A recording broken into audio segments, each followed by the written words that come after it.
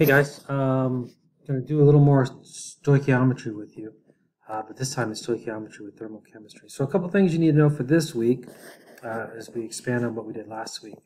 So when I think about stoichiometry, remember stoichiometry is a way I can figure out products from the amount of reactants.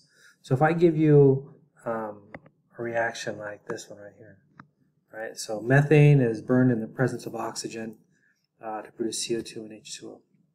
So before I can do this stoichiometry problem, I look at, I have my enthalpy here. So my enthalpy here says that uh, 390.3 kilojoules per mole is released. And I know it's released because I have a little negative sign there. Okay, so if I was going to put that into the equation, since it's exothermic, I know it's exothermic because it's negative, I would just add it here.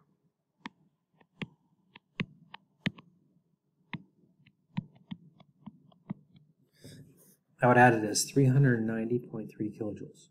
All right. So remember that in exothermic, it's added in the products, and in endothermic, it's added in the reactants. So no matter what it is, you know where to put the heat. Okay, so there's my heat. So if I look at this problem, it says if 20 grams of methane is combusted in the presence of excess oxygen, uh, what is the change in energy associated with the reaction? All right, so uh, this is my start.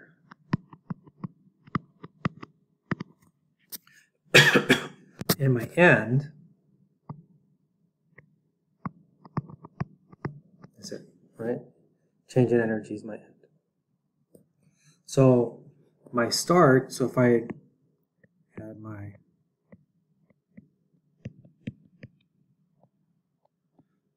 my little diagram we had for um, stoichiometry, right? So my start is there. So my start uh, would be over here. So I could say 20 grams methane. Remember, I have to go to moles. Uh, so I have to figure out, so I've got 12 and 4, so I've got 16.05 grams, right?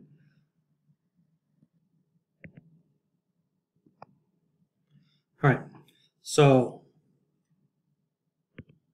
I have 20 grams divided by 1605 grams, and I get 1.2 moles.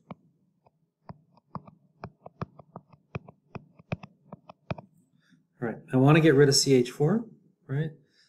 My coefficient here is 1. And then I get my 390.3 kilojoules. And the coefficient before that is 1 as well. So the reason why I showed you this is there's no need to go to here because this is for mass. This is for particles. This is for volume. And I don't need to go to mass, particles, or volume, so I could just stop here. Right? So I don't really need this extra equation. So if I got 1.2 times 390.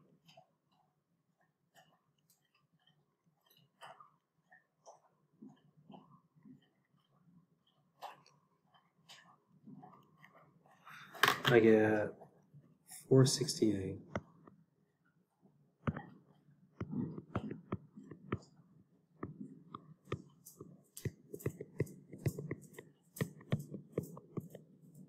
I get 470 kilojoules, right? So it says the energy associated. So here's the trick here. So this is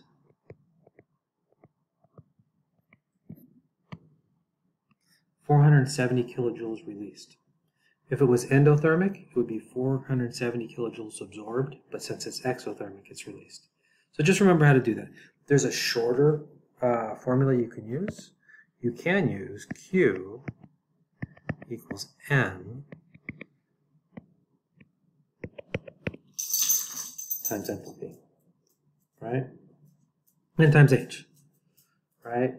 Remember N, uh, when we did gas problems, N is mole, right? So if I did Q is equal to N times H, remember I would use that negative 30 but that just says that that that's what the change in enthalpy is. But you still have to change it into uh, where it belongs in the problem. So just know that if it's exothermic, at the end you have to make it a positive value released, right? If it's endothermic, it's going to be a negative value absorbed. Or you can just use a value absorbed. So hopefully that helps you out. Okay, so let's move on. Another part of this or worksheet I gave you, you have to figure out how to do is energy associated with phase changes or physical states. Um, so endo and exothermic. So remember physical states, I have um, freezing and melting. I have condensation, vaporization. All right, so we have our phase changes there. Uh, there's a couple additional phase changes, right? So if I go from um, solid, right, to gas, that's going to be called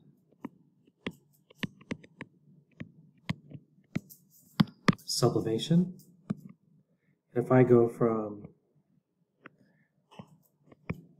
gas, I had to relocate to my backyard because people make so much noise in my house. So if I'm going from gas to a solid, it's called deposition. Okay, so uh, here's another way to look at it. So I have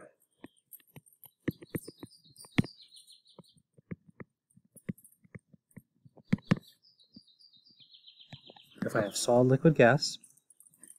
Remember, anytime I go from a, um, a more organized to a less organized state, I have to uh, absorb energy. Remember, kinetic molecular theory told us that. So if I'm going from a solid to a liquid, I have to absorb energy. If I'm going from a liquid to a gas, I have to absorb energy.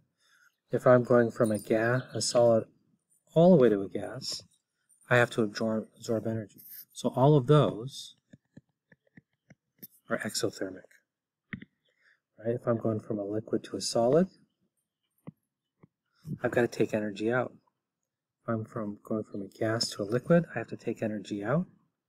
If I'm going all the way from a gas to a solid, I have to take energy out. So all of those will be endothermic. Okay? All right. So those are energies associated with phase changes. Make sure you understand which ones are exo and which ones are endothermic. So we can look at another way of looking at these graphs. If you look at this diagram up here, right? So if we go up to freezing, right? So freezing for water happens at zero, right? So um, if I'm going from, so right here, I have a solid. Here I have liquid, and here I have gas. Right, so if I'm heating up ice, as soon as I get to zero, ice melts. And ice melts at the heat of fusion. So as you see over here, it takes 6.01 kilojoules per mole to melt ice. That's the heat of fusion. Right? If I go back the other way, right? If I go this way, it's actually called the heat of solidification. So the heat of fusion and the heat of solidification, so this would be delta H. Let me make that a little better.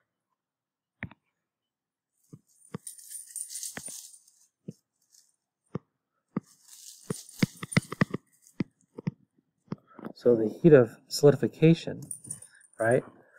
Since I'm going the opposite way, it would be negative 601 kilojoules per mole because I have to take that out, right? So as I continue to go here, if I'm going, if I got liquid and I've got to go to gas, I've got to vaporize it. So the heat of vaporization is 40 kilojoules per mole, right? So if I went the other way, that would be called delta H condensation, and that would be negative 40.7. So since it's the opposite direction, it's just the opposite. So this was negative 6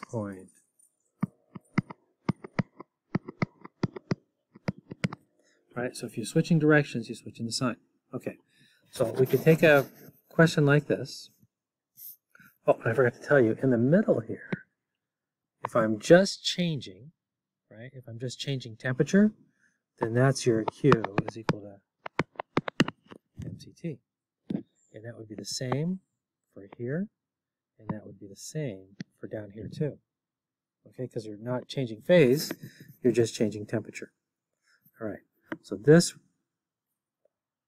over here, this is for phase change. That's your formula. This right here is for temperature in a single phase. All right, so make sure there's two different formulas. I'm going to show you how it works. All right, so how much energy is required to freeze 10 grams of gaseous water at 105 degrees? Okay, so if I've got gaseous water, right, I'm up in a gas phase here. Right, so I'm up, if I have gaseous water, I'm up in the gas phase here. So this is going to be my start. Okay, so I've got to get this down to 100 degrees right before I can go to, do a phase change. Right, so if I'm up here, then my formula is going to be the Q, right? So here, Q is equal to mass is 10 grams, right, times C. I have to look over here. So C for gas is 2.01, oops, yeah, 2.010 joules per gram degree Celsius. And my temperature change, I've got a decrease at 5 degrees. So I've got to negative 5 degrees Celsius. Okay, so I've got to go down 5 degrees Celsius. My second part, I've got to go through this phase change. I'm not going through vaporization because vaporization is going from liquid to gas. I'm going through condensation. But since it's a phase change, my, my formula is going to be Q is equal to N. So now I got to figure out moles. All right, so I've got 10 grams.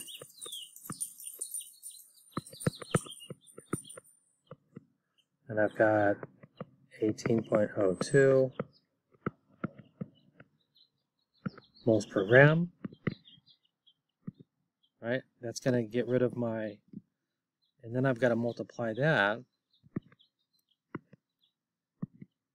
times my negative 40 moles. So that's going to be my Q for step 2. So this is step 1. This is step 2. Step 3 is here. I've got to cool the water. Okay? So step 3, I've got to do my Q is equal to MCT again. So I got my Q. I still got 10 grams. Now I've got liquid, so I've got my 4.1 joules per gram degree Celsius. And now I've got to go from 100 degrees here to 0 degrees here. Right? So I've got to take 100 Celsius out. Take 100 degrees Celsius out. And then my final, right? Uh, what was my question? I lost my question. To freeze it, so freeze it, I got to go to a solid. So I'm back to, so my number four is here. Right, so my number four is Q is going to be equal to, I got my same formula there.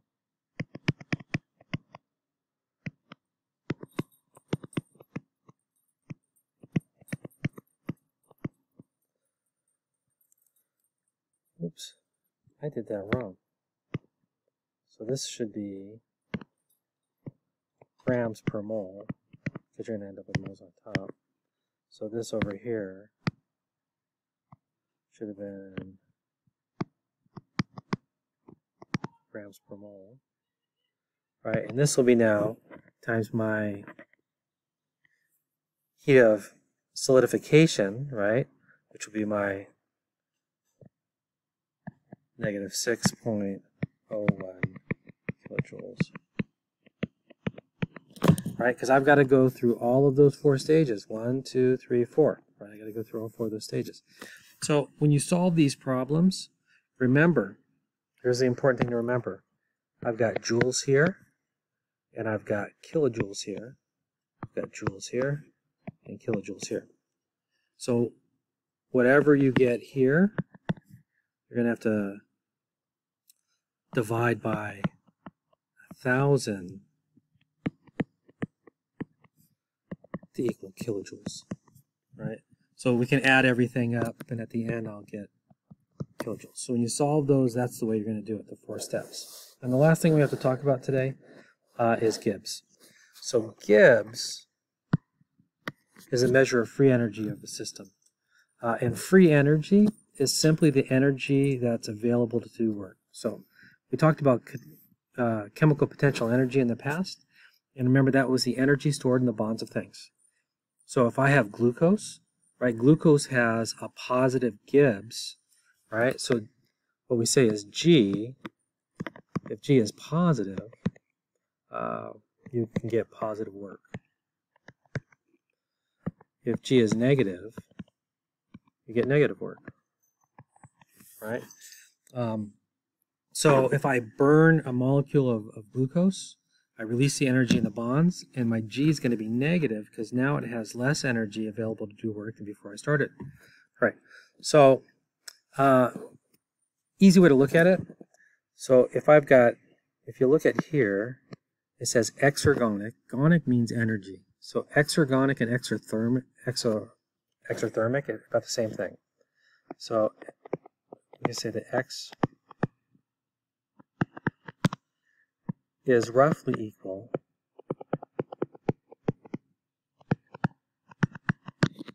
to exothermic.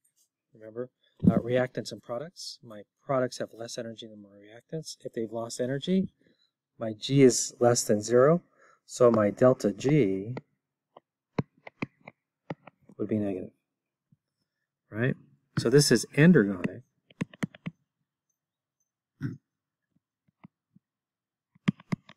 So endergonic is roughly equal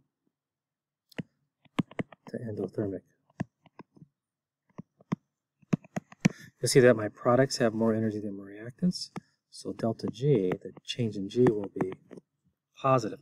Now there's some other things that go into this that we'll discuss later when we talk about equilibrium. Right, so if you look at, I'm going to make this a little bigger. Right, um, entropy is this other thing. Right, so entropy is equal to the letter S, and that's the measure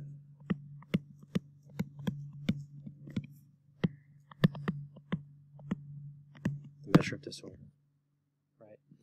So if disorder increases, right? If disorder increases, look, there's a negative value here, right? Then G becomes more negative. Okay? So if it increases, G becomes more negative. So if I take a molecule of glucose and I split it apart, right, I have less energy, right? So here's the thing to remember. Loss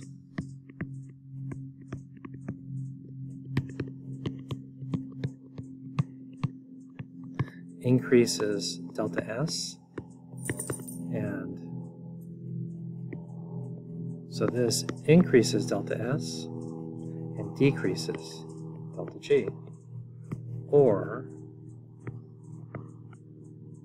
oops.